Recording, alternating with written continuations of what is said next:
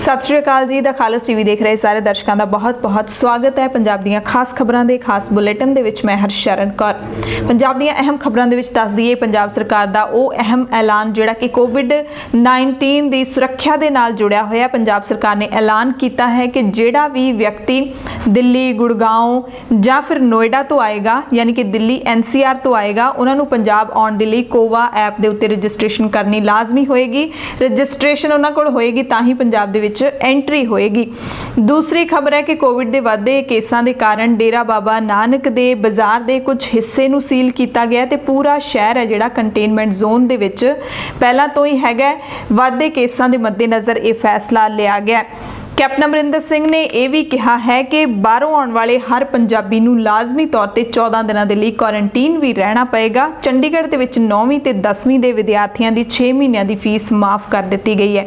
ਹੋਰ ਵੀ ਅਹਿਮ ਖਬਰਾਂ ਤੁਹਾਨੂੰ ਦੱਸਾਂਗੇ। ਪੰਜਾਬ ਦੀਆਂ ਪਹਿਲਾਂ ਕੋਵਿਡ-19 ਦੇ ਹਾਲਾਤ ਪੰਜਾਬ ਦੇ ਵਿੱਚ ਕੀ ਨੇ ਉਹ ਜਾਣ ਲੈਂਦੇ ਹਾਂ। 3 ਜੁਲਾਈ ਨੂੰ ਪੰਜਾਬ ਦੇ ਵਿੱਚ 5 ਨਵੀਆਂ ਮੌਤਾਂ ਦਰਜ ਕੀਤੀਆਂ ਗਈਆਂ ਨੇ। ਸੂਬੇ ਦੇ ਵਿੱਚ ਕੁੱਲ 157 ਮੌਤਾਂ ਹੋ ਗਈਆਂ ਨੇ। 122 ਜਣੇ 3 ਜੁਲਾਈ ਨੂੰ ਠੀਕ ਵੀ ਹੋਏ ਨੇ ਤੇ 18 ਜ਼ਿਲ੍ਹਿਆਂ ਦੇ ਵਿੱਚ 153 ਨਵੇਂ ਕੇਸ ਵੀ ਸਾਹਮਣੇ ਆਏ ਨੇ। ਹੁਣ ਪੂਰੇ ਪੰਜਾਬ ਦੇ ਵਿੱਚ ਮੌਤਾਂ ਦੀ ਗਿਣਤੀ 157 ਹੋ ਗਈ ਹੈ। ਕੁੱਲ ਜਿਹੜੇ ਪੋਜ਼ਿਟਿਵ ਕੇਸ ਨੇ ਹੁਣ ਤੱਕ 5937 ਯਾਨੀ ਕਿ 6000 ਦੇ ਕਰੀਬ ਹੋ ਗਏ ਨੇ। ਤੇ ਜਿਹੜੇ ਠੀਕ ਹੋਣ ਵਾਲੇ ਮਰੀਜ਼ ਨੇ, ਉਹਨਾਂ ਦੀ ਗਿਣਤੀ ਵੀ 4200 ਤੋਂ ਪਾਰ ਪਹੁੰਚ ਗਈ ਹੈ। ਤੇ ਜਿਹੜੇ ਐਕਟਿਵ ਪੋਜ਼ਿਟਿਵ ਮਰੀਜ਼ ਹੈਗੇ ਨੇ ਪੰਜਾਬ ਦੇ ਵਿੱਚ, ਉਹਨਾਂ ਦੀ ਗਿਣਤੀ 1500 ਤੋਂ ਉੱਤੇ ਹੋ ਗਈ ਹੈ 1514 ਕ੍ਰਿਟੀਕਲ ਮਰੀਜ਼ 3 ਨੇ ਪੰਜਾਬ ਦੇ ਵਿੱਚ, ਆਕਸੀਜਨ ਸਪੋਰਟ ਤੇ 34 ਮਰੀਜ਼ ਹੋ ਗਏ ਨੇ। ਪੰਜਾਬ ਦੇ ਸਭ ਤੋਂ ਵੱਧ ਜਿਹੜੇ ਕੇਸ ਆਏ ਨੇ 3 ਜੁਲਾਈ ਨੂੰ ਲੁਧਿਆਣਾ ਜ਼ਿਲ੍ਹੇ ਦੇ ਵਿੱਚ 54 ਨਵੇਂ ਕੇਸ ਆਏ ਨੇ। ਅੰਮ੍ਰਿਤਸਰ ਦੇ ਵਿੱਚ 11 ਗਿਣਤੀ ਘਟ ਰਹੀ ਹੈ। ਜਲੰਧਰ ਦੇ ਵਿੱਚ 19 ਸੰਗਰੂਰ 'ਚ 18 ਕੇਸ ਆਏ ਨੇ। ਪਟਿਆਲਾ ਦੇ ਵਿੱਚ ਵੀ ਕਾਫੀ ਫ਼ਰਕ ਪਿਆ ਹੈਗਾ। 12 ਕੇਸ ਆਏ ਨੇ 3 ਜੁਲਾਈ ਨੂੰ। ਮੋਹਾਲੀ ਦੇ ਵਿੱਚ 4 ਕੇਸ ਆਏ ਨੇ। ਗੁਰਦਾਸਪੁਰ 'ਚ 10 ਆਏ ਨੇ। ਬਰਨਾਲਾ, ਬਠਿੰਡਾ, ਕਪੂਰਥਲਾ, ਫਾਜ਼ਿਲਕਾ ਫਰੀਦਕੋਟ ਹੁਸ਼ਿਆਰਪੁਰ ਤੇ ਪਠਾਨਕੋਟ ਇੱਥੇ ਇੱਕ ਇੱਕ ਕੇਸ ਨਵਾਂ ਆਇਆ ਤਰਨਤਾਰਨ ਤੇ ਨਵਾਂ ਸ਼ਹਿਰ ਦੇ ਵਿੱਚ 6-6 ਨਵੇਂ ਕੇਸ ਆਏ ਨੇ ਮੋਗਾ ਦੇ ਵਿੱਚ ਵੀ 4 ਕੇਸ ਆਏ ਨੇ ਫਿਰੋਜ਼ਪੁਰ ਦੇ ਵਿੱਚ 2 ਨਵੇਂ ਕੇਸ ਦਰਜ ਕੀਤੇ ਗਏ ਨੇ ਜਿਹੜੀਆਂ ਮੌਤਾਂ ਹੋਈਆਂ ਨੇ ਉਹ ਅੰਮ੍ਰਿਤਸਰ ਦੇ ਵਿੱਚ 3 ਹੋਈਆਂ ਨੇ ਲੁਧਿਆਣਾ ਦੇ ਵਿੱਚ 2 ਹੋਈਆਂ ਨੇ ਤੇ ਹੁਣ ਸੂਬੇ ਦੇ ਵਿੱਚ ਸਭ ਤੋਂ ਵੱਧ ਮੌਤਾਂ ਅੰਮ੍ਰਿਤਸਰ ਜ਼ਿਲ੍ਹੇ ਦੇ ਵਿੱਚ 47 ਮੌਤਾਂ ਹੋ ਚੁੱਕੀਆਂ ਨੇ ਹੁਣ ਤੱਕ ਉਸ ਤੋਂ ਬਾਅਦ ਲੁਧਿਆਣਾ ਦੇ ਵਿੱਚ 24 ਜਲੰਧਰ ਦੇ ਵਿੱਚ 21 ਸੰਗਰੂਰ ਦੇ ਵਿੱਚ 14 ਮੌਤਾਂ ਹੋ ਚੁੱਕੀਆਂ ਨੇ। ਸੰਗਰੂਰ ਇਹੋ ਜਿਹਾ ਜ਼ਿਲ੍ਹਾ ਹੈਗਾ ਜਿੱਥੇ ਪਿਛਲੇ ਕੁਝ ਕੁ ਦਿਨਾਂ ਦੇ ਵਿੱਚ ਹੀ ਹਫਤਾ ਹੀ ਹੋਇਆ ਹੋਣਾ ਜਦੋਂ ਸੰਗਰੂਰ ਦੇ ਵਿੱਚ ਜ਼ਿਆਦਾ ਕੇਸ ਆਉਣੇ ਸ਼ੁਰੂ ਹੋਏ ਨੇ ਤੇ ਮੌਤਾਂ ਦੀ ਗਿਣਤੀ ਇੱਕਦਮ ਪਟਿਆਲੇ ਤੋਂ ਵੀ ਵੱਧ ਗਈ ਹੈ। ਪਟਿਆਲੇ 9 ਮੌਤਾਂ ਨੇ ਤੇ ਸੰਗਰੂਰ ਦੇ ਵਿੱਚ 14 ਮੌਤਾਂ ਨੇ। ਸਭ ਤੋਂ ਵੱਧ ਕੇਸ ਨੇ ਜਿਹੜੇ ਇਸ ਵਕਤ ਲੁਧਿਆਣਾ ਦੇ ਵਿੱਚ 377 ਦੂਜੇ ਨੰਬਰ ਤੇ ਜਲੰਧਰ 216 ਫਿਰ ਪਟਿਆਲਾ ਦੇ ਵਿੱਚ 174 ਸੰਗਰੂਰ ਚੌਥੇ ਨੰਬਰ ਤੇ 169 ਤੇ ਅੰਮ੍ਰਿਤਸਰ ਦੇ ਵਿੱਚ 151 ਕੇਸ ਨੇ। ਮੁੱਖ ਮੰਤਰੀ ਕੈਪਟਨ ਅਮਰਿੰਦਰ ਸਿੰਘ ਨੇ ਕੋਵਿਡ-19 ਦੇ ਮਿਸ਼ਨ ਫਤਿਹ ਤਹਿਤ ਇੱਕ ਨਵਾਂ ਫੈਸਲਾ ਲਿਆ ਹੈਗਾ। ਪਹਿਲਾਂ ਥੋੜੀ ਰਾਹਤ ਦਿੱਤੀ ਗਈ ਸੀ, ਜਿਹੜੇ ਬਾਹਰਲੇ ਸੂਬਿਆਂ ਤੋਂ ਜਾਂ ਬਾਹਰਲੇ ਦੇਸ਼ਾਂ ਤੋਂ ਆਉਂਦੇ ਲੋਕ ਸੀ, ਪਰ ਹੁਣ ਕੈਪਟਨ ਅਮਰਿੰਦਰ ਸਿੰਘ ਨੇ ਆਦੇਸ਼ ਦੇ ਦਿੱਤਾ ਕਿ ਜਿਹੜੇ ਵੀ ਲੋਕ ਬਾਹਰਲੇ ਸੂਬਿਆਂ ਜਾਂ ਬਾਹਰਲੇ ਦੇਸ਼ਾਂ ਤੋਂ ਆਉਣਗੇ, ਉਹਨਾਂ ਨੂੰ 14 ਦਿਨਾਂ ਦੇ ਕੁਆਰੰਟਾਈਨ ਦੇ ਵਿੱਚ ਹਰ ਹਾਲਤ ਵਿੱਚ ਰਹਿਣਾ ਪਏਗਾ। ਸਾਰੇ ਲੋਕਾਂ ਨੂੰ ਕੋਵਾ ਐਪ ਹੈ ਜਿਹੜੀ ਉਹ ਆਪਣੇ ਫੋਨ ਦੇ ਵਿੱਚ ਡਾਊਨਲੋਡ ਕਰਨ ਦੇ ਲਈ ਕਿਹਾ ਹੈਗਾ ਔਰ ਇਸ ਐਪ ਦੇ ਉੱਤੇ ਸੈਲਫ ਡਿਕਲੇਰੇਸ਼ਨ ਫਾਰਮ ਹੈ ਜਿਹੜਾ ਉਹ ਜ਼ਰੂਰ ਭਰਨਾ ਪਏਗਾ, ਜਿਹੜੇ ਬਾਹਰਲੇ ਸੂਬਿਆਂ ਤੋਂ ਆਉਂਦੇ ਨੇ, ਖਾਸ ਕਰਕੇ ਉਹਨਾਂ ਤੋਂ। ਇਹ ਵੀ ਐਲਾਨ ਕੀਤਾ ਗਿਆ ਕਿ ਅਗਲੇ ਹਫ਼ਤੇ ਤੋਂ ਪੰਜਾਬ ਦੇ ਵਿੱਚ ਰੈਪਿਡ ਐਂਟੀਜਨ ਟੈਸਟਿੰਗ ਹੈ ਜਿਹੜੀ ਉਹ ਸ਼ੁਰੂ ਹੋਣ ਜਾ ਰਹੀ ਹੈ ਤਾਂ ਕਿ ਲੋਕਾਂ ਦੇ ਉੱਤੇ ਨਿਗਾਹ ਰੱਖੀ ਜਾ ਸਕੇ ਸਰਵੇਲਾਂਸ ਹੈ ਜਿਹੜਾ ਉਹ ਰੱਖਿਆ ਜਾ ਸਕੇ। ਉਸ ਤੋਂ ਬਾਅਦ ਕੈਪਟਨ ਅਮਰਿੰਦਰ ਸਿੰਘ ਨੇ ਇੱਕ ਹੋਰ ਐਲਾਨ ਕੀਤਾ ਹੈ, ਇੱਕ ਇਹ ਸਿਆਸੀ ਖਹਿਬਾਜ਼ੀ ਦਾ ਜਿਹੜਾ ਬਿਆਨ ਹੈ, ਉਹ ਕਹਿ ਸਕਦੇ ਆ ਕਿਉਂਕਿ ਕੈਪਟਨ ਅਮਰਿੰਦਰ ਸਿੰਘ ਨੇ, ਸੁਖਬੀਰ ਸਿੰਘ ਬਾਦਲ, ਸ਼੍ਰੋਮਣੀ ਅਕਾਲੀ ਦਲ ਦੇ ਪ੍ਰਧਾਨ ਨੇ, ਕੇਂਦਰੀ ਮੰਤਰੀ ਹਰਸਿਮਰਤ ਕੌਰ ਬਾਦਲ ਅਤੇ ਸ਼੍ਰੋਮਣੀ ਅਕਾਲੀ ਦਲ ਦੇ ਸਾਰੇ ਲੀਡਰਾਂ ਦੀ ਨਿਖੇਧੀ ਕੀਤੀ ਹੈ। ਉਹਨਾਂ ਤੇ ਦੋਹਰੀ ਸਿਆਸਤ ਕਰਨ ਦੇ ਇਲਜ਼ਾਮ ਲਾਏ ਨੇ ਕਿ ਜੇ ਤੁਸੀਂ ਬਿਜਲੀ ਦੇ ਜਿਹੜੇ ਸੋਧ ਬਿੱਲ ਦੀ ਵਿਰੋਧਤਾ ਕਰ ਰਹੇ ਹੋ ਜਾਂ ਫਿਰ ਕਿਸਾਨਾਂ ਦੇ ਆਰਡੀਨੈਂਸ ਦੀ ਵਿਰੋਧਤਾ ਕਰ ਰਹੇ ਹੋ, ਤਾਂ ਫਿਰ ਤੁਹਾਡੀ ਜਿਹੜੀ ਹਰਸਿਮਰਤ ਕੌਰ ਬਾਦਲ ਤੁਹਾਡੀ ਇੱਕ ਲੀਡਰ ਹੈ।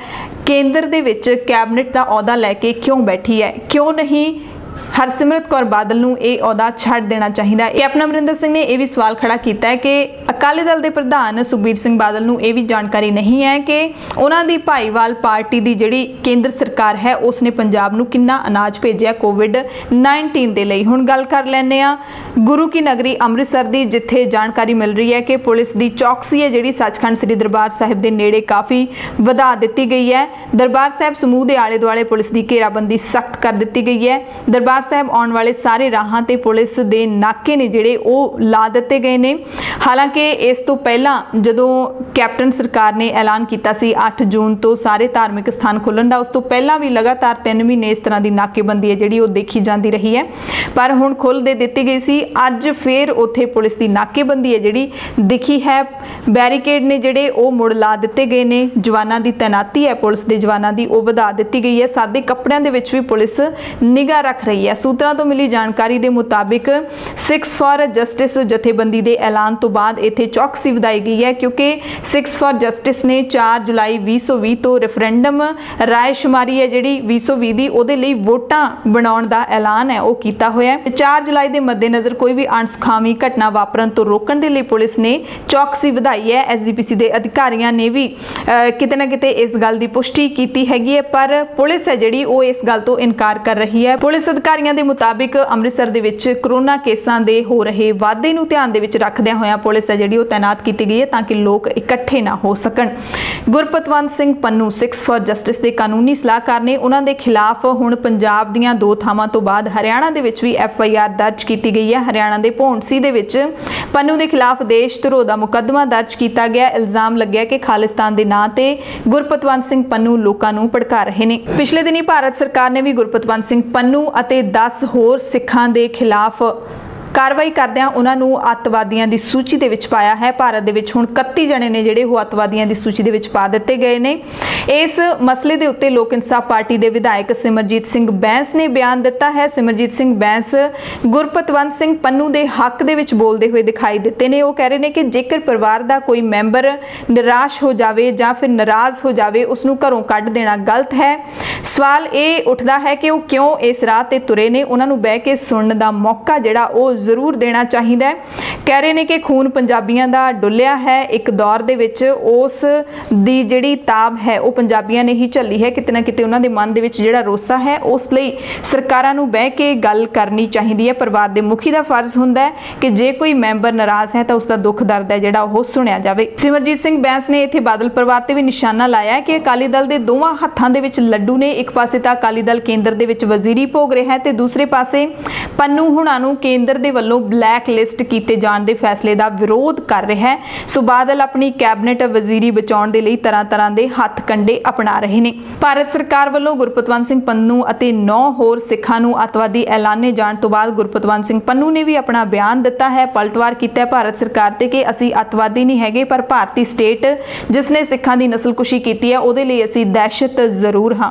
ਅਗਲੀ ਖਬਰ, ਬਾਲੀਵੁੱਡ ਅਦਾਕਾਰ ਅਨੁਪਮ ਖੇਰ ਦੇ ਨਾਲ ਜੁੜੀ ਹੋਈ ਹੈ। ਅਨੁਪਮ ਖੇਰ ਨੇ ਇੱਕ ਟਵੀਟ ਕੀਤਾ ਸੀ ਜਿਸ ਦੇ ਨਾਲ ਸਿੱਖਾਂ ਦੀਆਂ ਭਾਵਨਾਵਾਂ ਨੂੰ ਠੇਸ ਪਹੁੰਚਾਉਣ ਦਾ ਇਲਜ਼ਾਮ ਲੱਗਿਆ ਸੀ। ਉਸ ਤੋਂ ਬਾਅਦ ਅਨੁਪਮ ਖੇਰ ਨੇ ਟਵੀਟ ਤਾਂ ਉਹ ਨਹੀਂ ਹਟਾਇਆ, ਪਰ ਮਾਫੀ ਜ਼ਰੂਰ ਮੰਗ ਲਈ ਸੀ, ਪਰ ਟਵਿੱਟਰ ਦੇ ਉੱਤੇ ਸਿਮਰਜੀਤ ਸਿੰਘ ਬੈਂਸ, ਲੋਕ ਇਨਸਾਫ ਪਾਰਟੀ ਦੇ ਵਿਧਾਇਕ, ਉਹਨਾਂ ਨੂੰ ਅਜਿਹੀ ਮਾਫੀ ਮਨਜ਼ੂਰ ਨਹੀਂ ਹੈ। ਸਿਮਰਜੀਤ ਸਿੰਘ ਬੈਂਸ ਕਹਿੰਦੇ ਨੇ ਕਿ ਮਾਫੀ ਮੰਗਣ ਨਾਲ ਗੱਡੀ ਨਹੀਂ ਚੱਲਣੀ, ਤੁਹਾਨੂੰ ਜਨਤਕ ਤੌਰ ਤੇ ਲੋਕਾਂ ਦੇ ਵਿੱਚ ਆ ਕੇ ਮਾਫੀ ਮੰਗਣੀ ਚਾਹੀਦੀ ਹੈ ਅਪੋਲੋਜਾਈਜ਼ ਕਰਨਾ ਚਾਹੀਦਾ ਹੈ, ਮੀਡੀਆ ਦੇ ਸਾਹਮਣੇ ਬਹਿਣਾ ਚਾਹੀਦਾ ਹੈ ਤੇ ਐਫ ਆਈ ਆਰ ਹੈ ਜਿਹੜੀ ਉਹ ਅਨੁਪਮ ਖੇਰ ਦੇ ਖਿਲਾਫ ਜ਼ਰੂਰ ਦਰਜ ਹੋਣੀ ਚਾਹੀਦੀ ਹੈ, ਇਹ ਮੰਗ ਕੀਤੀ ਹੈ ਸਿਮਰਜੀਤ ਸਿੰਘ ਬੈਂਸ ਨੇ। ਦਰਅਸਲ, ਅਨੁਪਮ ਖੇਰ ਨੇ ਇੱਕ ਜਿਹੜਾ ਟਵੀਟ ਕੀਤਾ ਸੀ, ਉਸ ਦੇ ਵਿੱਚ ਸ੍ਰੀ ਗੁਰੂ ਗੋਬਿੰਦ ਸਿੰਘ ਸਾਹਿਬ ਨਾਲ ਸੰਬੰਧਿਤ ਤੁਕਾਂ ਨੂੰ ਤੋੜ ਮਰੋੜ ਕੇ ਲਿਖਿਆ ਸੀ ਅਤੇ ਇਹਨਾਂ ਤੁਕਾਂ ਦੀ ਜਿਹੜੀ ਤੁਲਨਾ ਹੈਗੀ ਆ, ਉਹ ਇੱਕ ਬੀਜੇਪੀ ਦੇ ਲੀਡਰ ਦੇ ਨਾਲ ਕੀਤੀ ਸੀ। ਬੀਜੇਪੀ ਦਾ ਬੁਲਾਰਾ ਹੈ, ਸੰਬਿਤ ਪਾਤਰਾ ਉਸ ਨਾਲ ਕੀਤੀ ਸੀ। ਉਸ ਤੋਂ ਬਾਅਦ ਸਿੱਖਾਂ ਦੇ ਵਿੱਚ ਰੋਹ ਵਧਿਆ ਸੀ। ਪੰਜਾਬ ਦੇ ਸਾਬਕਾ ਮੁੱਖ ਮੰਤਰੀ ਪ੍ਰਕਾਸ਼ ਸਿੰਘ ਬਾਦਲ ਦੇ ਵਿਦੇਸ਼ੀ ਇਲਾਜ ਦੇ ਬਿੱਲਾਂ ਨੂੰ ਕੈਪਟਨ ਸਰਕਾਰ ਨੇ ਪ੍ਰਵਾਨ ਕਰ ਲਿਆ ਕੈਪਟਨ ਸਰਕਾਰ ਨੇ ਸਾਬਕਾ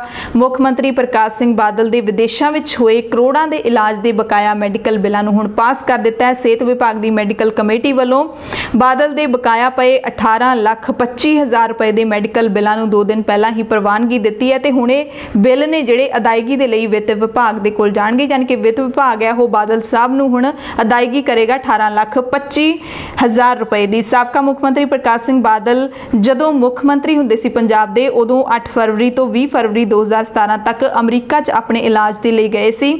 ਕੈਪਟਨ ਸਰਕਾਰ ਬਣ ਤੋਂ ਪਹਿਲਾਂ ਉਹਨਾਂ ਦਾ ਅਮਰੀਕਾ ਦੇ ਓਹਾਈਓ ਦੇ ਕਲੀਵਲੈਂਡ ਹਸਪਤਾਲ ਦੇ ਵਿੱਚ ਇਲਾਜ ਹੋਇਆ ਸੀ।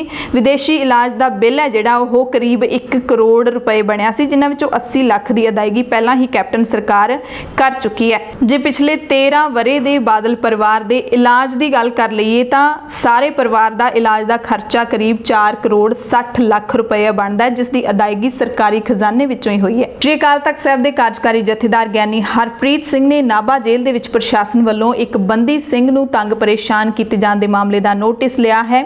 ਸਿੰਘ ਸਾਹਿਬ ਨੇ ਬਿਆਨ ਦਿੱਤਾ ਕਿ ਮੈਕਸਿਮਮ ਸਿਕਿਉਰਿਟੀ ਜੇਲ੍ਹ ਨਾਭਾ ਦੇ ਪ੍ਰਸ਼ਾਸਨ ਵੱਲੋਂ ਜੇਲ੍ਹ ਦੇ ਵਿੱਚ ਕੈਦ ਬੰਦੀ ਸਿੰਘ ਨੂੰ ਤੰਗ ਪਰੇਸ਼ਾਨ ਕੀਤਾ ਜਾ ਰਿਹਾ, ਜਿਸ ਦੇ ਵਿਰੋਧ ਦੇ ਵਿੱਚ 30 ਜੂਨ 2020 ਤੋਂ ਭੁੱਖ ਹੜਤਾਲ ਤੇ ਬੈਠੇ ਨੇ ਬੰਦੀ ਸਿੰਘ। ਇਸ ਮਸਲੇ ਦੇ ਵਿੱਚ ਉਹਨਾਂ ਨੇ ਤਾੜਨਾ ਕੀਤੀ ਹੈ, ਸਰਕਾਰ ਨੂੰ ਹਦਾਇਤ ਕੀਤੀ ਹੈ ਕਿ ਬੰਦੀ ਸਿੰਘਾਂ ਦੀਆਂ ਮੁਸ਼ਕਲਾਂ ਦਾ ਹੱਲ ਕੀਤਾ ਜਾਵੇ, ਜੇਲ੍ਹ ਦੇ ਵਿੱਚ ਉਹਨਾਂ ਨੂੰ ਪਰੇਸ਼ਾਨ ਨਾ ਕੀਤਾ ਜਾਵੇ, ਭੁੱਖ ਹੜਤਾਲ ਖਤਮ ਕਰਵਾਈ ਜਾਵੇ ਤੇ ਜੇ ਕੋਈ ਵੀ ਘਟਨਾ ਵਾਪਰਦੀ ਹੈ ਜਾਂ ਫਿਰ ਕੋਈ ਨੁਕਸਾਨ ਹੁੰਦਾ ਬੰਦੀ ਸਿੰਘਾਂ ਦਾ, ਤੇ ਉਸ ਦੇ ਲਈ ਸਰਕਾਰ ਜ਼ਿੰਮੇਵਾਰ ਹੋਵੇਗੀ। ਗੱਲ ਕਰਾਂਗੇ ਪੰਜਾਬ ਦੇ ਵਿੱਚ ਫਰੰਟ ਲਾਈਨ ਤੇ ਕੰਮ ਕਰ ਰਹੇ ਨੇ ਜਿਹੜੇ ਸਿਹਤ ਕਾਮੇ ਜਿਨ੍ਹਾਂ ਨੂੰ ਪੰਜਾਬ ਸਰਕਾਰ ਕਰੋਨਾ ਯੋਧੇ ਕਹਿੰਦੀ ਹੈ, ਪਰ ਹਕੀਕਤ ਦੇ ਵਿੱਚ ਕਰੋਨਾ ਯੋਧਿਆਂ ਨੂੰ ਉਹ ਨਹੀਂ ਦਿੱਤਾ ਜਾ ਰਿਹਾ ਜਿਸ ਦੀ ਉਹਨਾਂ ਨੂੰ ਲੋੜ ਹੈ। ਤੁਸੀਂ ਸੁਣ ਕੇ ਹੈਰਾਨ ਹੋਵੋਗੇ ਕਿ ਕੰਟਰੈਕਟ ਤੇ ਜਿਹੜੇ ਸਿਹਤ ਕਾਮੇ ਕੰਮ ਕਰ ਰਹੇ ਨੇ ਪਿਛਲੇ ਕਈ ਸਾਲਾਂ ਤੋਂ, ਜਾਂ ਫਿਰ ਜਿਹੜੇ ਰੈਗੂਲਰ ਵੀ ਭਰਤੀ ਹੋਏ ਨੇ, ਪਰ ਹਲੇ ਉਹਨਾਂ ਦਾ ਪ੍ਰੋਵੇਸ਼ਨ ਪੀਰੀਅਡ ਚੱਲ ਰਿਹਾ ਹੈਗਾ। ਉਹ ਮਹਿਜ਼ 10000 ਤੋਂ ਘੱਟ ਤਨਖਾਹਾਂ ਦੇ ਉੱਤੇ ਕੰਮ ਕਰਦੇ ਨੇ। ਕੋਵਿਡ 19 ਦੇ ਦੌਰ ਦੇ ਵਿੱਚ ਤਾਂ ਸਰਕਾਰ ਨੇ ਆਦੇਸ਼ ਦੇ ਦਿੱਤਾ ਸੀ, ਸਿਹਤ ਮਹਿਕਮੇ ਨੇ ਆਦੇਸ਼ ਦੇ ਦਿੱਤਾ ਸੀ ਕਿ 24 ਘੰਟੇ ਕੰਮ ਕਰਨਗੇ। ਕਦੋਂ ਵੀ 24 ਘੰਟਿਆਂ ਦੇ ਵਿੱਚ ਇਹਨਾਂ ਨੂੰ ਬੁਲਾਇਆ ਜਾ ਸਕਦਾ ਹੈ? 24 ਘੰਟੇ 30 ਦਿਨ, ਕੋਈ ਐਤਵਾਰ ਦੀ ਛੁੱਟੀ ਨਹੀਂ, ਕੋਈ ਗਜ਼ਟਡ ਛੁੱਟੀ ਨਹੀਂ। ਤੇ ਹੁਣ ਜਦੋਂ ਪੰਜਾਬ ਸਰਕਾਰ ਨੇ ਨਵੀਆਂ ਭਰਤੀਆਂ ਕੱਢੀਆਂ ਨੇ, ਤਾਂ ਇਹ ਜਿਹੜੇ ਕਰੋਨਾ ਕਾਮੇ ਨੇ, ਉਹ ਹੁਣ ਵਿਰੋਧ ਕਰ ਰਹੇ ਨੇ। ਪੂਰੇ ਪੰਜਾਬ ਦੇ ਵਿੱਚ ਰੋਸ ਪ੍ਰਦਰਸ਼ਨ ਹੋ ਰਹੇ ਨੇ। ਇਹਨਾਂ ਦੀ ਸਿਰਫ ਇੱਕੋ ਹੀ ਮੰਗ ਹੈ ਕਿ ਪੰਜਾਬ ਸਰਕਾਰ ਨੇ ਨਵੀਆਂ ਭਰਤੀਆਂ ਕਿਉਂ ਕੱਢੀਆਂ ਨੇ? ਕਿਉਂ ਨਹੀਂ ਜਿਹੜੇ ਅਸੀਂ 9-9 15-15 ਸਾਲਾਂ ਤੋਂ ਲਗਾਤਾਰ ਕੰਟਰੈਕਟ ਤੇ ਕੰਮ ਕਰ ਰਹੇ ਹਾਂ, ਸਾਨੂੰ ਕਿਉਂ ਨਹੀਂ ਭਰਤੀ ਕੀਤਾ ਜਾਂਦਾ? ਕਿਉਂਕਿ ਹੁਣ ਕਈ ਤਾਂ ਇਹੋ ਜਿਹੇ ਕਾਮੇ ਨੇ ਜਿਨ੍ਹਾਂ ਨੂੰ 14-14 ਸਾਲ ਹੋ ਗਏ ਕੰਟਰੈਕਟ ਤੇ ਕੰਮ ਕਰਦੇ ਕਰਦੇ। ਹੁਣ ਉਹਨਾਂ ਦੀ ਉਮਰ ਹੱਦ ਵੀ ਲੰਘ ਚੁੱਕੀ ਹੈ ਤੇ ਉਹ ਇਹ ਐਗਜ਼ਾਮ ਦੇ ਵਿੱਚ ਬਹਿ ਹੀ ਨਹੀਂ ਸਕਦੇ। ਇਹਨਾਂ ਸਿਹਤ ਕਾਮਿਆਂ ਨੇ ਇਹ ਵੀ ਜਾਣਕਾਰੀ ਦਿੱਤੀ ਹੈ ਕਿ ਸਾਡੇ ਤੋਂ ਕੰਮ ਇੰਨਾ ਜ਼ਿਆਦਾ ਲਿਆ ਜਾ ਰਿਹਾ ਹੈ, ਪਰ ਪੰਜਾਬ ਸਰਕਾਰ ਸਾਨੂੰ ਮਾਣ ਭੱਤੇ ਵਜੋਂ ਕੁਝ ਵੀ ਨਹੀਂ ਦੇ ਰਹੀ। ਨਾ ਹੀ ਜਿਹੜਾ ਅਸੀਂ ਛੁੱਟੀਆਂ 'ਚ ਕੰਮ ਕਰਦੇ ਆ ਉਹਦਾ ਕੁਝ ਦਿੱਤਾ ਜਾ ਰਿਹਾ ਹੈ। ਪਹਿਲਾਂ ਹੀ ਜਿੰਨੀ ਸਾਡੀ ਤਨਖਾਹ ਸੀ 7000 ਕਿਸੇ ਦੀ 9500 ਕਿਸੇ ਦੀ 8000 ਉਨੀ ਕ ਤਨਖਾਹ ਤੇ ਇਹ 24 24 ਘੰਟੇ ਕੰਮ ਕਰ ਰਹੇ ਨੇ। ਬਠਿੰਡਾ ਦੇ ਵਿੱਚ ਵੀ ਜਿਹੜਾ ਗੁਰੂ ਨਾਨਕ ਦੇਵ ਥਰਮਲ ਪਲਾਂਟ ਬੰਦ ਕੀਤਾ ਗਿਆ, ਪੰਜਾਬ ਸਰਕਾਰ ਦੇ ਵੱਲੋਂ ਉਸ ਬੰਦ ਕਰਨ ਦੇ ਵਿਰੋਧ ਦੇ ਵਿੱਚ ਹਾਲੇ ਵੀ ਰੋਸ ਪ੍ਰਦਰਸ਼ਨ ਲਗਾਤਾਰ ਜਾਰੀ ਨੇ। ਬਠਿੰਡਾ ਦੇ ਵਿੱਚ ਯੂਨਾਈਟਿਡ ਅਕਾਲੀ ਦਲ, ਆਮ ਆਦਮੀ ਪਾਰਟੀ, ਦਲ ਖਾਲਸਾ ਤੇ ਵੱਖ-ਵੱਖ ਸਿੱਖ ਜਥੇਬੰਦੀਆਂ ਨੇ ਸਖਤ ਵਿਰੋਧ ਕੀਤਾ। ਦੋਸ਼ ਲਾਏ ਕਿ ਚਾਚੇ ਭਤੀਜੇ ਦੀ ਯਾਰੀ ਹੈ ਜਿਹੜੀ ਉਹ ਪੰਜਾਬ ਨੂੰ ਤਬਾਹ ਕਰ ਰਹੀ ਹੈ। ਪੰਜਾਬ ਦੀ ਤਤਕਾਲੀ ਅਕਾਲੀ ਸਰਕਾਰ ਅਤੇ ਪੰਜਾਬ ਦੀ ਮੌਜੂਦਾ ਕੈਪਟਨ ਸਰਕਾਰ ਇੱਕੋ ਸਿੱਕੇ ਦੇ ਦੋ ਪਹਿਲੂ ਨੇ, ਇਹ ਸਾਰੇ ਲੀਡਰਾਂ ਨੇ ਇਲਜ਼ਾਮ ਲਾਇਆ। ਇਸ ਮੌਕੇ ਪ੍ਰਕਾਸ਼ ਸਿੰਘ ਬਾਦਲ, ਸੁਬੀਰ ਸਿੰਘ ਬਾਦਲ, ਕੈਪਟਨ ਅਮਰਿੰਦਰ ਸਿੰਘ ਤੇ ਮਨਪ੍ਰੀਤ ਸਿੰਘ ਬਾਦਲ ਸਾਰਿਆਂ ਦੇ ਪੁਤਲੇ ਸਾੜੇ ਗਏ ਬਠਿੰਡਾ ਦੇ ਵਿੱਚ। ਜਦੋਂ ਵਿੱਤ ਮੰਤਰੀ ਦੇ ਦਫ਼ਤਰ ਵਾਲੇ ਜਾਣ ਲੱਗੇ ਤਾਂ ਪੁਲਿਸ ਨੇ ਬੈਰੀਕੇਡਿੰਗ ਤੇ ਇਹਨਾਂ ਨੂੰ ਰੋਕ ਲਿਆ। ਕੇਂਦਰ ਸਰਕਾਰ ਦੇ ਬਿਜਲੀ ਸੋਧ ਬਿੱਲ 2020 ਦੇ ਖਿਲਾਫ ਦੇਸ਼ ਦੇ 8 ਸੂਬਿਆਂ ਨੇ ਸਿੱਧੇ ਤੌਰ ਤੇ ਵਿਰੋਧਤਾ ਸ਼ੁਰੂ ਕਰ ਦਿੱਤੀ ਹੈ। ਇਹਨਾਂ ਸੂਬਾ ਸਰਕਾਰਾਂ ਨੇ ਕੇਂਦਰੀ ਬਿੱਲ ਨੂੰ ਫੈਡਰਲ ਢਾਂਚੇ ਦੇ ਲਈ ਮਾਰੂ ਕਦਮ ਦੱਸਿਆ। ਪੰਜਾਬ ਸਰਕਾਰ ਸਰਕਾਰ ਹਾਲਾਂਕਿ ਇਸ ਮਾਮਲੇ ਤੇ ਦੇਰੀ ਦੇ ਨਾਲ ਜਾਗੀ ਹੈ। ਬਾਕੀ ਸੂਬਿਆਂ ਨੇ ਪਹਿਲਾਂ ਹੀ ਕੇਂਦਰ ਸਰਕਾਰ ਦੇ ਕੋਲ ਆਪਣਾ ਇਤਰਾਜ਼ ਹੈ, ਜਿਹੜਾ ਉਹ ਪ੍ਰਗਟ ਕਰ ਦਿੱਤਾ ਸੀ। ਸੂਬਾ ਸਰਕਾਰਾਂ ਦਾ ਤਰਕ ਹੈ, ਜਿਹੜੀਆਂ ਵਿਰੋਧ ਕਰ ਰਹੀਆਂ ਨੇ ਕਿ ਕੋਵਿਡ ਕਰਕੇ ਸੂਬਿਆਂ ਦੀ ਆਰਥਿਕਤਾ ਪਹਿਲਾਂ ਹੀ ਡਾਵਾਂਡੋਲ ਹੋਈ ਪਈ ਹੈ ਤੇ ਬਿਜਲੀ ਸੋਧ ਬਿੱਲ ਹੈ, ਜਿਹੜਾ ਉਹ ਸੂਬਿਆਂ ਦੇ ਖਿਲਾਫ ਹੀ ਭੁਗਤਦਾ ਹੈ। ਪੰਜਾਬ ਤੋਂ ਵਿਧਾਇਕ ਸੁਖਪਾਲ ਸਿੰਘ ਖਹਿਰਾ ਨੇ ਵੀ ਕੈਪਟਨ ਅਮਰਿੰਦਰ ਸਿੰਘ ਨੂੰ ਬਿਜਲੀ ਸੋਧ ਬਿੱਲ 2020 ਅਤੇ ਜਿਹੜੇ ਕੇਂਦਰ ਸਰਕਾਰ ਨੇ ਤਿੰਨ ਆਰਡੀਨੈਂਸ ਪਾਸ ਕੀਤੇ ਨੇ ਕਿਸਾਨਾਂ ਦੇ ਵਿਰੋਧ ਦੇ ਵਿੱਚ, ਉਹਨਾਂ ਸਾਰੇ ਮਸਲਿਆਂ ਦੇ ਉੱਤੇ ਪੰਜਾਬ ਵਿਧਾਨ ਸਭਾ ਦਾ ਸਪੈਸ਼ਲ ਸਦਨ ਸੱਦਣ ਦੀ ਅਪੀਲ ਕੀਤੀ ਹੈ। ਕੈਪਟਨ ਅਮਰਿੰਦਰ ਸਿੰਘ ਇਸ ਮਸਲੇ ਤੇ ਕੀ ਫੈਸਲਾ ਲੈਂਦੇ ਨੇ ਇਹ ਹਾਲੇ ਦੇਖਣਾ ਹੋਵੇਗਾ। ਤਖਤ ਸ੍ਰੀ ਕੇਸਗੜ੍ਹ ਸਾਹਿਬ ਵਿਖੇ ਲੰਗਰ ਘੁਟਾਲੇ ਤੋਂ ਬਾਅਦ ਹੁਣ ਦਰਬਾਰ ਸਾਹਿਬ ਸ੍ਰੀ ਮੁਕਤਸਰ ਸਾਹਿਬ ਟੁੱਟੀ ਗੰਢੀ ਵਿਖੇ ਵੀ ਸ਼੍ਰੋਮਣੀ ਕਮੇਟੀ ਦੇ ਉਡਨ ਦਸਤੇ ਦੇ ਵੱਲੋਂ ਪੜਤਾਲ ਦੇ ਵਿੱਚ ਸਾਹਮਣੇ ਆਇਆ ਕਿ ਉੱਥੇ ਵੀ ਲੰਗਰ ਦੇ ਵਿੱਚ ਘਪਲਾ ਕੀਤਾ ਜਾ ਰਿਹਾ ਸੀ। ਗੜਬੜੀਆਂ ਦਾ ਮਾਮਲਾ ਸਾਹਮਣੇ ਆਇਆ ਹੈ। ਕੁਲਦੀਪ ਸਿੰਘ ਰੋਡੇ ਦੀ ਅਗਵਾਈ ਦੇ ਵਿੱਚ ਇਹਨਾਂ ਨੇ ਜਾ ਕੇ ਉੱਥੇ ਰੇਡ ਕੀਤੀ ਤਾਂ ਪਤਾ ਲੱਗਿਆ ਕਿ ਤਾਲਾਬੰਦੀ ਦੇ ਦੌਰਾਨ ਦਰਬਾਰ ਸਾਹਿਬ ਵਿਖੇ ਦੁੱਧ ਤੇ ਹੋਰ ਖੁਰਾਕੀ ਪਦਾਰਥਾਂ ਦੀ ਖਰੀਦ ਦੇ ਵਿੱਚ ਹੇਰਾ ਫੇਰੀ ਕੀਤੀ ਗਈ ਸੀ। ਮੈਨੇਜਰ ਸੁਮੇਰ ਸਿੰਘ ਤੇ ਸਟੋਰ ਕੀਪਰ ਕੁਲਵੰਤ ਸਿੰਘ ਪਾਸੋਂ ਪੜਤਾਲ ਕੀਤੀ ਜਾ ਰਹੀ ਹੈ, ਪੁੱਛਗਿੱਛ ਕੀਤੀ ਜਾ ਰਹੀ ਹੈ ਤੇ ਸ਼੍ਰੋਮਣੀ ਕਮੇਟੀ ਇਸ ਮਾਮਲੇ ਦੀ ਜਾਂਚ ਪੜਤਾਲ ਹੈ, ਜਿਹੜੀ ਉਹ ਕਰੇਗੀ। ਮੈਨੇਜਰ ਸੁਮੇਰ ਸਿੰਘ ਆਪਣੇ ਤੇ ਲੱਗੇ ਇਲਜ਼ਾਮਾਂ ਨੂੰ ਦਰਕਿਨਾਰ ਕਰਦੇ ਨੇ। ਉਹ ਕਹਿੰਦੇ ਨੇ ਕਿ ਸਾਰਾ ਮਾਮਲਾ ਮੇਰੇ ਵਿਰੋਧੀਆਂ ਦੇ ਵੱਲੋਂ ਇਹ ਉਭਾਰਿਆ ਜਾ ਰਿਹਾ ਹੈ। ਕਰੀਬ 3 ਮਹੀਨੇ ਪਹਿਲਾਂ ਹੀ ਮੇਰੀ ਜੁਆਇਨਿੰਗ ਹੋਈ ਹੈ ਤੇ ਮੈਂ ਕੁਝ ਨਹੀਂ ਕੀਤਾ। ਸਿਰਫ ਮੇਰੀ ਬਦਨਾਮੀ ਹੈ ਜਿਹੜੀ ਉਹ ਕੀਤੀ ਜਾ ਰਹੀ ਹੈ। ਸੀਬੀਐਸਈ ਬੋਰਡ ਨੇ ਪਿਛਲੇ ਦਿਨੀ 10ਵੀਂ ਤੇ 12ਵੀਂ ਦੀਆਂ ਬੋਰਡ ਦੀਆਂ ਪ੍ਰੀਖਿਆਵਾਂ ਰੱਦ ਕਰ ਦਿੱਤੀਆਂ ਸੀ, ਜਿਸ ਤੋਂ ਬਾਅਦ 15 ਜੁਲਾਈ ਤੱਕ ਨਤੀਜੇ ਐਲਾਨਣ ਦਾ ਬਿਆਨ ਹੈ ਜਿਹੜਾ ਉਹ ਦਿੱਤਾ ਗਿਆ ਸੀ। ਤੇ ਹੁਣ ਨਵੀਂ ਗੱਲ ਬੋਰਡ ਦੇ ਸਾਹਮਣੇ ਨਵੀਂ ਚੁਣੌਤੀ ਇਹ ਆਈ ਹੈ ਕਿ ਕਿਉਂਕਿ ਅਧਿਆਪਕਾਂ ਨੇ ਸਕੂਲ ਪੱਧਰ ਤੇ ਅਧਿਆਪਕਾਂ ਨੇ ਵਿਦਿਆਰਥੀਆਂ ਦੇ ਪਿਛਲੇ ਅੰਕਾਂ ਦਾ ਮੁਲਾਂਕਣ ਕਰਕੇ ਹੀ ਨਤੀਜਾ ਦੇਣਾ ਹੈ ਤੇ ਹੁਣ ਸਿਫਾਰਸ਼ਾਂ ਹੋਣੀਆਂ ਸ਼ੁਰੂ ਹੋ ਗਈਆਂ ਨੇ। ਪਤਾ ਲੱਗਿਆ ਕਿ ਕੁਝ ਟੀਮਾਂ ਇਹੋ ਜੀਆਂ ਸਰਗਰਮ ਹੋ ਗਈਆਂ ਨੇ ਜਿਹੜੀਆਂ ਵਿਦਿਆਰਥੀਆਂ ਤੱਕ ਪਹੁੰਚ ਕਰ ਰਹੀਆਂ ਨੇ ਤੇ ਅਧਿਆਪਕਾਂ ਦੇ ਨਾਲ ਕਨੈਕਸ਼ਨ ਬਣਾਉਣ ਦਾ ਯਤਨ ਕਰ ਰਹੀਆਂ ਨੇ ਕਿ ਸਿਫਾਰਿਸ਼ ਦੇ ਤੌਰ ਤੇ ਉਹਨਾਂ ਦੇ ਅੰਕ ਨੇ ਜਿਹੜੇ ਉਹ ਵਧਾ ਕੇ ਲਾਏ ਜਾਣ ਤੇ ਬੋਰਡ ਨੇ ਦੇਸ਼ ਭਰ ਦੇ ਸਕੂਲਾਂ ਨੂੰ ਕਿਹਾ ਹੈ ਕਿ ਇਸ ਬਾਰੇ ਵਿਦਿਆਰਥੀਆਂ ਨੂੰ ਜਾਗਰੂਕ ਕੀਤਾ ਜਾਵੇ ਕਿ ਉਹ ਅਜਿਹੇ ਲੋਕਾਂ ਦੇ ਝਾਂਸੇ ਵਿੱਚ ਨਾ ਆ ਜਾਣ। 15 ਜੂਨ ਦੀ ਰਾਤ ਨੂੰ ਭਾਰਤ ਚੀਨ ਦਰਮਿਆਨ ਝੜਪ ਹੋਈ ਸੀ। ਫੌਜੀਆਂ ਦੇ ਵਿੱਚ ਝੜਪ ਹੋਈ ਤਾਂ ਸਰਹੱਦ ਤੇ ਸ਼ਹੀਦ ਹੋਏ ਮਾਨਸਾ ਜ਼ਿਲ੍ਹੇ ਦੇ ਪਿੰਡ ਬੀਰੇਵਾਲਾ ਡੋਗਰਾ ਦੇ ਗੁਰਤੇਜ ਸਿੰਘ ਦੀ ਮਾਤਾ ਪ੍ਰਕਾਸ਼ ਸਿੰਘ ਨੂੰ ਪੰਜਾਬ ਦੀ ਮਾਤਾ ਦੇ ਖਿਤਾਬ ਦੇ ਨਾਲ ਸਨਮਾਨਿਤ ਕੀਤਾ ਗਿਆ। ਇਹ ਸਨਮਾਨ ਸਾਬਕਾ ਸੰਸਦੀ ਮੈਂਬਰ ਜਗਦੀਪ ਸਿੰਘ, ਨਕਈ ਅਤੇ ਐਸਜੀਪੀਸੀ ਮੈਂਬਰ ਮਿੱਠੂ ਸਿੰਘ ਕਾਨਕੇ ਦੇ ਵੱਲੋਂ ਦਿੱਤਾ ਗਿਆ ਤੇ ਨਾਲ ਹੀ ਜ਼ਿਲ੍ਹਾ ਪ੍ਰਸ਼ਾਸਨ ਨੂੰ ਸ਼ਹੀਦ ਦੀ ਯਾਦਗਾਰ ਮਾਨਸਾ ਦੇ ਵਿੱਚ ਬਣਾਉਣ ਦੇ ਲਈ ਵੀ ਇਹ ਵਫਦ ਹੈ ਜਿਹੜਾ ਉਹ ਮਿਲੇਗਾ। ਦੁਨੀਆ ਦੇ ਵਿੱਚ ਮੋਬਾਈਲ ਗੇਮਾਂ ਖੇਡਣ ਦਾ ਭੂਤ ਸਵਾਰ ਕਿੰਨਾ ਹੈ ਲੋਕਾਂ ਦੇ ਉੱਤੇ, ਖਾਸ ਕਰਕੇ ਨੌਜਵਾਨੀ ਦੇ ਉੱਤੇ, ਇਸ ਦੀ ਇੱਕ ਮਿਸਾਲ ਹੈ ਜਿਹੜੀ ਉਹ ਖਰੜ ਤੋਂ ਸਾਹਮਣੇ ਆਈ ਹੈ, ਜਿੱਥੇ ਇੱਕ ਨੌਜਵਾਨ ਲੜਕੇ ਨੇ 16 ਲੱਖ ਰੁਪਏ ਇੱਕ PUBG ਗੇਮ ਖੇਡਣ ਦੇ ਲਈ ਹੀ ਲਾ ਦਿੱਤੇ। ਗੇਮ ਦੇ ਵਿੱਚ 1 ਮਹੀਨੇ ਚ ਮਾਸਟਰ ਬਣਨ ਦੇ ਲਈ ਉਹਨੇ ਗੇਮ ਦੇ ਅੰਦਰ ਵਰਚੁਅਲ ਬਾਰੂਦ, ਪਾਸ ਤੇ ਆਰਟਿਲਰੀ ਖਰੀਦੀ ਹੈ ਤੇ ਆਪਣੇ ਪਿਤਾ ਦਾ ਅਕਾਊਂਟ ਕਾਫੀ ਹੱਦ ਤੱਕ ਉਹਨੇ ਖਾਲੀ ਕਰ ਦਿੱਤਾ। ਆਪਣੀ ਮਾਂ ਦੀ ਸੇਵਿੰਗ ਦੇ ਵਿੱਚੋਂ ਵੀ ਉਹਨੇ ਪੈਸੇ ਕਢਵਾਏ ਤੇ ਆਪਣੇ ਖਾਤੇ ਦੇ ਵਿੱਚੋਂ ਵੀ ਉਹਨੇ ਆਨਲਾਈਨ ਖਰਚਾ ਜਿਹੜਾ ਇਹ ਕੀਤਾ। ਤੇ ਆਪਣੇ ਮੁੰਡੇ ਦੀ ਇਸ ਹਰਕਤ ਤੋਂ ਪਰੇਸ਼ਾਨ ਹੋ ਕੇ ਹੁਣ ਪਿਓ ਨੇ ਉਸ ਨੂੰ ਸਕੂਟਰ ਰਿਪੇਅਰ ਦੀ ਦੁਕਾਨ ਤੇ ਲਾ ਦਿੱਤਾ ਤਾਂ ਕਿ ਉਹਨੂੰ ਪਤਾ ਲੱਗੇ ਕਿ ਪੈਸਾ ਕਿਵੇਂ ਜੋੜਿਆ ਜਾਂਦਾ ਹੈ। 17 ਸਾਲ ਦਾ ਇਹ ਟੀਨੇਜਰ ਮੁੰਡਾ ਸੀ। ਇਹਨੇ ਆਪਣੇ ਪਰਿਵਾਰਕ ਮੈਂਬਰਾਂ ਨੂੰ ਕਿਹਾ ਸੀ ਕਿ ਆਨਲਾਈਨ ਪੜ੍ਹਾਈ ਦੇ ਲਈ ਉਹ ਮੋਬਾਈਲ ਦਾ ਇਸਤੇਮਾਲ ਕਰਦਾ ਹੈ, ਜਦਕਿ ਉਹ PUBG ਗੇਮ ਖੇਡਦਾ ਸੀਗਾ। ਪਰ ਹੈਰਾਨੀ ਦੀ ਗੱਲ ਇਹ ਵੀ ਹੈ ਕਿ 17 ਸਾਲ ਦੇ ਮੁੰਡੇ ਨੂੰ ਆਪਣੀ ਮਾਂ ਦੇ ਅਕਾਊਂਟ ਦੇ ਕ੍ਰੈਡੈਂਸ਼ੀਅਲਸ ਪਤਾ ਸੀਗੇ ਤੇ ਆਪਣੇ ਪਿਓ ਦੇ ਅਕਾਊਂਟ ਦੇ ਕ੍ਰੈਡੈਂਸ਼ੀਅਲਸ ਵੀ ਪਤਾ ਸੀ ਤੇ ਆਪਣੇ ਵੀ। ਇਸ ਲਾਪਰਵਾਹੀ ਦੇ ਕਰਕੇ ਹੀ ਸ਼ਾਇਦ ਇੰਨਾ ਨੁਕਸਾਨ ਹੈ ਜਿਹੜਾ ਉਹਨਾਂ ਨੂੰ ਉਠਾਉਣਾ ਪਿਆ ਕਿ 16 ਲੱਖ ਰੁਪਏ ਇੱਕ ਮੋਬਾਈਲ ਗੇਮ ਦੇ ਉੱਤੇ ਹੀ ਬਰਬਾਦ ਕਰ ਦਿੱਤੇ। ਪੰਜਾਬ ਦੀਆਂ ਖਾਸ ਖਬਰਾਂ ਦੇ ਖਾਸ ਬੁਲੇਟਿਨ ਵਿੱਚ ਤੁਹਾਡੇ ਤੋਂ ਇਜਾਜ਼ਤ ਚਾਹੁੰਦੇ ਹਾਂ। ਪ੍ਰਾਈਮ ਟਾਈਮ ਦੇ ਵਿੱਚ ਮਿਲਾਂਗੇ। ਧੰਨਵਾਦ। ਧਰਮ ਰਾਹੀਂ ਸੱਚ ਦੇ ਪ੍ਰਚਾਰ ਤੇ ਪ੍ਰਸਾਰ ਨੂੰ ਸਮਰਪਿਤ ਸਬਸਕ੍ਰਾਈਬ ਕਰੋ ਸਾਡਾ ਨਵਾਂ ਚੈਨਲ ਦਾ ਖਾਲਸ ਟੀਵੀ ਧਰਮ।